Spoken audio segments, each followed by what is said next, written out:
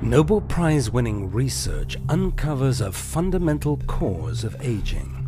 The answer cannot be seen by the human eye and is something called a telomere.